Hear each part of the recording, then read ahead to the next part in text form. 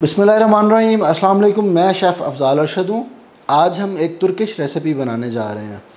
अगर आपने गोश्त की जन्नत में जाना है तो मैं कहता हूँ वो तुर्की ही है, क्योंकि वहाँ पे दुम्बे के गोश्त से इतनी मुख्तलिफ़ किस्म की चीज़ें बनाई जाती हैं कि मेरे नहीं ख्याल कि दुनिया में कहीं पर भी बनती होंगी। यमनी या अरब कल्चर में भी बनती हैं, लेकिन तुर्किश के अंदर जो वैरायटी है, जिस तरह की डिशेस बनाई जाती हैं, वो बड़ी कमाल की होती हैं, बड़ा सादा और कमाल की। उनके अंदर चंद अज्जा होते हैं, ज़्यादातर फ्लेवर जो है वो गोश्त का होता है।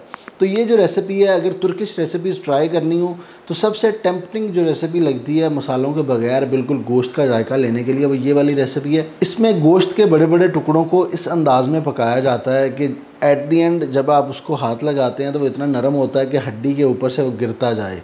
इतना सॉफ्ट गोश्त हो चुका होता है। इसके अज्जा तो बिल्कुल सिंपल हैं, लेकिन इसको पकाने में टेक्निक इस्तेमाल होती है कि इस हद तक गोश्त को कैसे गलाया जाए और गोश्त भी बिल्कुल ऐसे आपको लगे कि जैसे फ्लेवरफुल है। तो वो सारी चीज़ें इस वीडियो में देखेंगे। इस रेसिपी के तीन मेजर अज्जा हैं। सबसे पहली चीज़, गोश्त। दुम्बे का गोश्त लें और उसके बड़े टुकड़े करवा लें। मैंने पुठ ली है और उस पुट के चार टुकड़े कर लिए हैं। पूरी पुठ थी, इसके चार हिस्सों में तकसीम कर लिया है इसको। इसमें नोट करने वाली चीज़ ये है कि इसकी बहुत ज़्यादा सफ़ाई नहीं करनी है आपने। जो इसके ऊपर ये फ़ैट कैप है, ये इसके ऊपर रहेगी, थोड़ी बहुत चर्बी इसके साथ रहेगी। और गोश्त को आपने बड़े हिस्सों में ले लेना दूसरे नंबर पे हमें कुछ चर्बी की ज़रूरत है तो थोड़ी सी चर्बी इधर ली हुई है। और साथ साथ हमें नमक की ज़रूरत है। बहुत सारे लोग पूछते हैं कि नमक कौन सा आप इस्तेमाल करते हैं खानों में? तो ये देखें, जो नमक के, जो कुदरती नमक है, हमारा ख्योड़ा वगैरह का, वो इस तरह के टुकड़ों में भी मिल जाता है। तो ये नमक लेके इसको आगे ग्राइंड कर लें तो ये नमक बन जाता है, जो बिल्कुल इम्प्योरिटी से पाक है। क्योंकि आपको पता है ना कि ये बिल्कुल नमक है, इसके अंदर कोई और रेत वगैरह, इस तरह की चीज़ें नहीं हैं। तो मैं ये नमक इस्तेमाल करता हूँ, और इस रेसिपी में भी हम यही नमक इस्तेमाल करेंगे। ये रेसिपी या ये गोश्त बनाने की जो टेक्निक है ना, उसमें ये है कि सबसे पहले इस गोश्त को सीयर करेंगे हम। सीयर वो टेक्निक है जिससे पूरे फ्लेवर को लॉक करते हैं हम, गोश्त के अंदर। मतलब आप इसको गरम फ्राइंग पैन के अंदर थोड़े से ऑयल के साथ चारों साइडों से पकाएँगे 10 से 15 मिनट के लिए। मतलब इसका पानी वगैरह नहीं निकालना, इसको हाई टेम्परेचर पे एक क्रस्ट और एक कलर देना है इसको। जिस तरह हम रोस्ट कहते हैं कि इसको आपने एक दफ़ा रोस्ट करना है पहले। वहाँ पे इसको पकाना मकसद नहीं है सिंपल इसके ऊपर कलर लेके आना मकसद है। सबसे पहला काम वो होगा, इस रेसिपी में और उसको कर लेते हैं। यहाँ पे मैंने एक फ्राइंग पैन लिया है और इसको मैंने हल्की आँच पे यहाँ पे गर्म होने के लिए रख दिया ताकि ये प्री हीट हो जाए। और जो दूसरा काम हमने करना है कि ये नमक इस गोश्त के ऊपर लगाना है हमने। तो नमक मैंने यहाँ पर डेढ़ टी पहले ही नाप लिया ये गोश्त बारह ग्राम है। पुट टोटल का वज़न 1200 ग्राम था तो उसके लिए मैंने यहाँ पे डेढ़ टीस्पून नमक लिया इस नमक को हम इस गोश्त के ऊपर इस तरह लगाएँगे। अब ये तरीका बहुत ज़्यादा मिलता जुलता है, जिस तरह आ, हमारे यहाँ नमकीन टिक्का बनाया जाता है पेशावर साइड पे गोश्त का तो उस तरीके से ये बहुत ज़्यादा मिलता जुलता है कि पहले नमक लगा के वो बारबेक्यू करते हैं हम इसको शेयर करेंगे उसके बाद इसका अगला स्टेप होगा। और साथ साथ आप ये भी कर सकते हैं कि इसको इस तरह बिल्कुल बारीक छोटे छोटे कट लगाएँ ताकि नमक इसके अंदर तक चला जाए। ये देखिए इस तरह। छोटे छोटे कट लगा लिए ज़्यादा टुकड़े नहीं करने इसके सिर्फ़ हल्का सा प्रिक करना है इसको। ये छोटे छोटे इस तरह के कट लगा लें तो बस आपने इसके ऊपर ये सारा जो नमक है ना, वो अच्छी तरह डिस्ट्रीब्यूट कर देना। अब ये देखें, गोश्त के टुकड़ों को नमक अच्छी तरह से लगा लिया हर तरफ़। अब ये जो पैन गरम करने के लिए रखा है, इसमें ये चर्बी जो है हमारे पास थोड़ी सी, ये चर्बी डाल के इसको थोड़ा सा रेंडर करेंगे।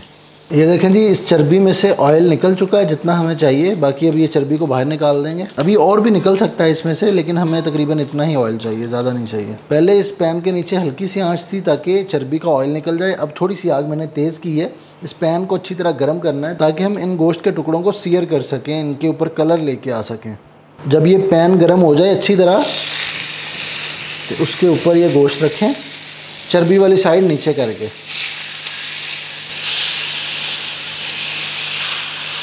अगर आप अवन का इस्तेमाल कर रहे हो तो आपने नमक लगा के किसी पैन में ये गोश्त रख के अवन में डाल देना है हाई हीट पे।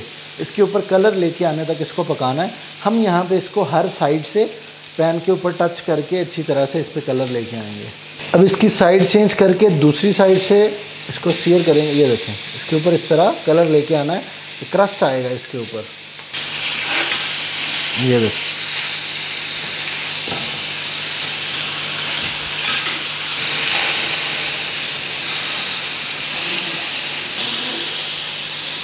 ये देखें जी आपने इसको ना बस घुमाते हुए चारों साइडों से इस पैन के अंदर दरमियानी आँच के ऊपर, पहले तेज़ रखें, उसके बाद दरमियानी कर लें, उस आग के ऊपर चारों साइडों से थोड़ा थोड़ा कलर लेके आना, बस, और कोई काम नहीं है। ये जिस तरह ये कलर आ रहा है इसके ऊपर।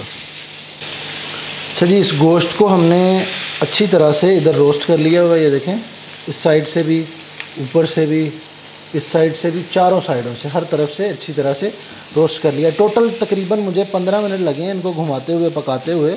तो अच्छी तरह से ये गोश्त इधर कलर भी आ चुका है रोस्ट हो चुका है। तो इसको हम इधर से निकाल लेंगे।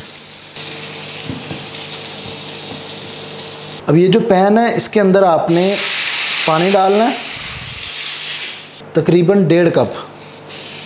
ताकि इसके अंदर जो सारा फ्लेवर था ना जो इस गोश्त के अंदर से जो जूसेस निकले थे सारे, वो सारा फ्लेवर इस पानी के अंदर आ जाए। अब ये देखें जी, इसकी आग मैं बंद कर रहा हूँ, इस पानी को भी हम साइड पर रख लेंगे। अब एक आपने दरमियाने साइज़ का बर्तन लेना है, जिसके अंदर ये बोटियाँ, ये जो हमने गोश्त पकाया हुआ है सीयर किया हुआ है, वो अच्छी तरह से आ सके। और ये जो गोश्त है, इसको आप इस कढ़ाई के अंदर डालें। नमक है, आधा एक टीस्पून नमक इसमें और डाल। लें ये जो पानी है, यखनी है, ये इसके अंदर डाल दें। हैं यहाँ तक जो हमने काम किया है, हमने गोश्त को अच्छी तरह से ब्राउन किया है। उस ब्राउन होने से ये होगा, फ़ायदा ये होगा कि गोश्त का फ्लेवर अंदर लॉक हो जाएगा। जब इसको हम आगे मज़ीद पकाएँगे तो इसका फ्लेवर वेस्ट नहीं होगा, बल्कि गोश्त अंदर ही अंदर सॉफ्ट होता जाएगा। अब सबसे ख़ास चीज़ इस रेसिपी के अंदर कि इस गोश्त को पकाया जाता है ऑयल के अंदर फ्राई किया जाता है, आप ये कह सकते हैं।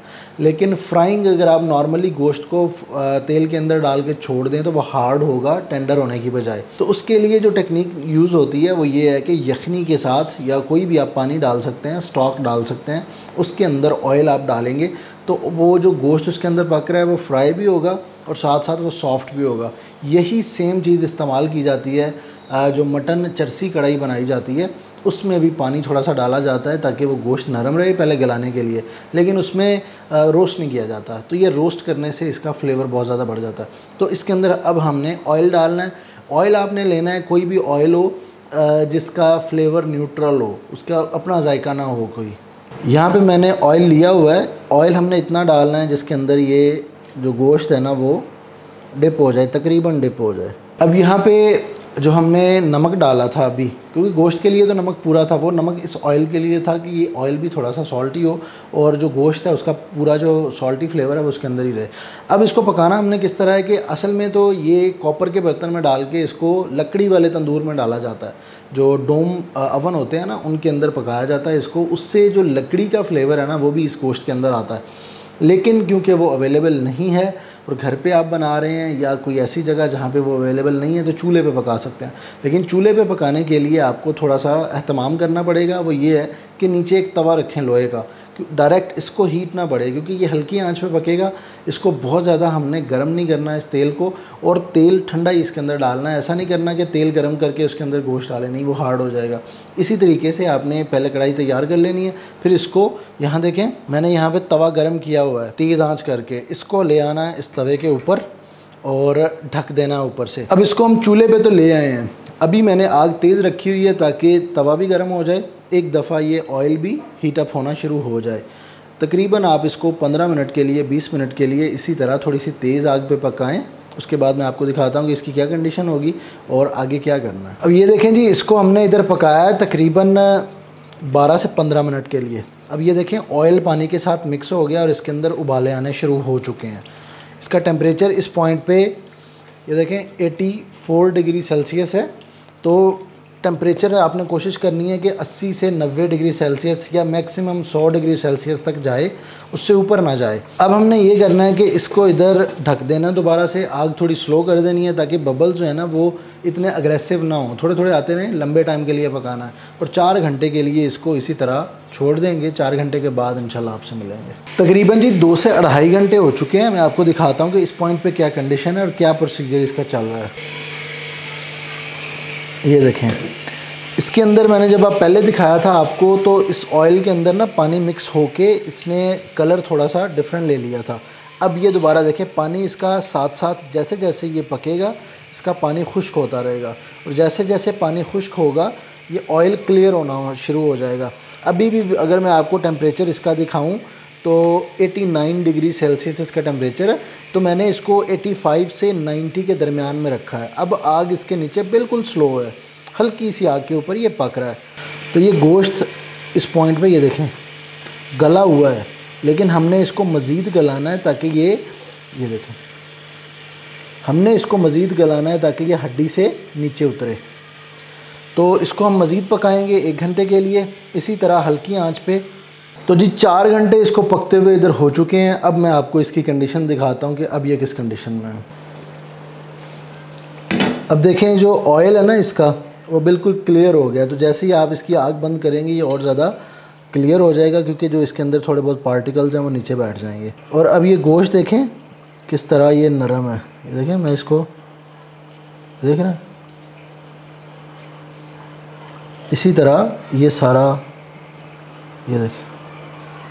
बिल्कुल सॉफ्ट हो चुका है जिस हमें, जिस कंडीशन में ये चाहिए, उस कंडीशन में आ चुका है। तो इसको हम इधर से निकालेंगे और निकाल के इसको सर्व करते हैं। इसको जो है, अब एक पीस निकालते हैं और इसको चेक करते हैं।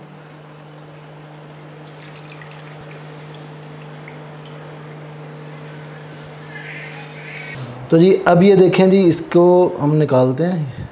हड्डी देखें।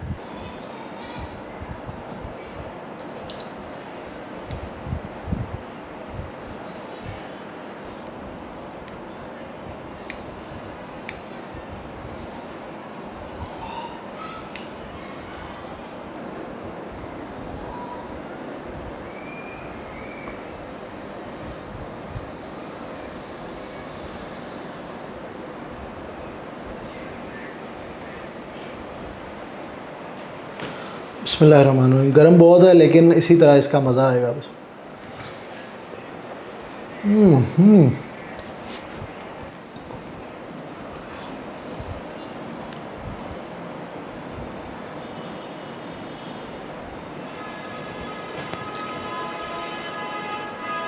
हम्म।